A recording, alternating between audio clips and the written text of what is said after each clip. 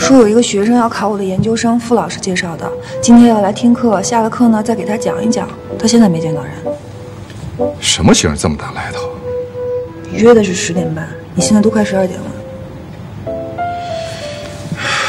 你别这么不守时，也能接受。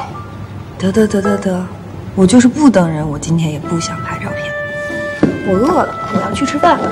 回头跟傅老师说说，这么没有时间观念的学生踢了得了，考什么研究生啊？没错，请问，这是陆陆陆晨曦副教授的讲座吗？是啊，但是已经结束一个小时了。啊，这嘉陵医大跟迷宫似的，我我绕来绕去，绕来绕去，你就绕吧，绕着绕着你就找到出去的路了。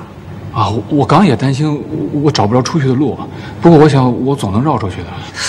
你还挺能顺杆爬的你，你就是那个胡胡胡什么啊，我叫胡歌，我是上海来的。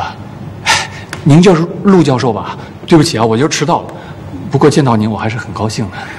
我看你还别叫胡歌了，你叫糊涂吧。我哥叫糊涂。这人和新人的质量真是越来越差了。就这个王峰教授的高材生，考你研究生差不多。呃陆教授，老师，您招研究生吗？我考您的行吗？行啊，不过我有个条件，什么条件？叫大哥，别叫老师。大哥，大哥，只